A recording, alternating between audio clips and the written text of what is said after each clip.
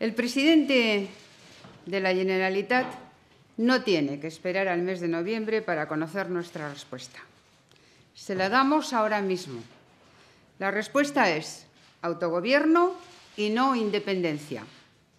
Y la propuesta es convivencia y no independencia. El Gobierno de España no acepta ultimátums y mantiene su determinación de continuar por la vía del diálogo. Este Gobierno pide a las autoridades de la Generalitat distensión y calma.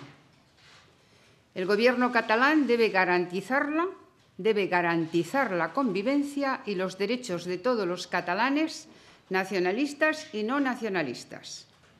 Si algo se puso en evidencia el 1 de octubre de 2017 fue la fractura de la sociedad catalana. Y hemos de recordar al Gobierno de la Generalitat una vez más que una sociedad dividida no solo no es admisible desde un punto de vista democrático, sino que es una sociedad sin futuro.